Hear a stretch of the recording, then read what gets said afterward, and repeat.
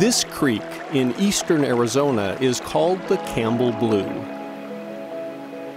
The first one is, I think, right back there. One, two, three, four.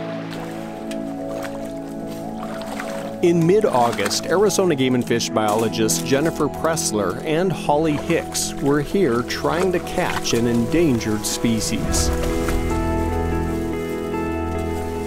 We are hoping to catch New Mexico jumping mice tonight. So we've got Sherman traps here that I'm going to be setting along the stream. So I am checking the treadle of my trap, making sure that it is set properly. That way that the mouse will be able to come in and set that trap off. So that's working very nicely.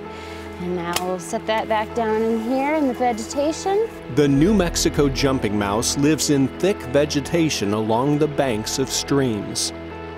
Listed as endangered in 2014, it's only found in parts of New Mexico, Colorado, and the White Mountains of Arizona. Jen will come by and flag it and put some bait in there. Bait is just a simple mixture of steel cut oats and unsalted peanuts. And she should be ready to go. So we should be almost to the end of our traps.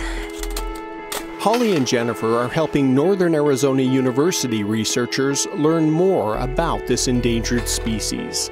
And we just set 70 traps trying to catch New Mexico jumping mice. We are trying to collect genetic data to look at the genetic diversity of the mouse up here throughout the White Mountains. If we're lucky, we'll have a handful of traps that have jumping mice in them in the morning.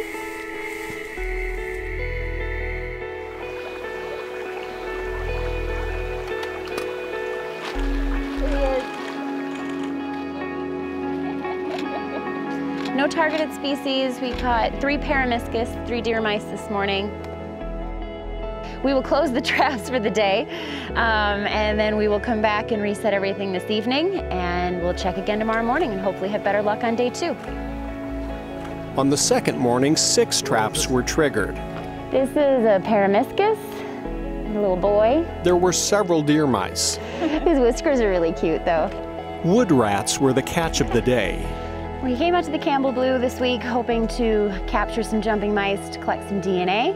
Unfortunately, we weren't able to get the sample that we needed this week. Um, we will likely have to try to come back maybe next year since we're getting so close to hibernation time. I don't know if we'll have a chance again to be out here this year, but we'll be out here again next year to try to collect that sample. We need to finish that puzzle, so eventually we'll get this piece.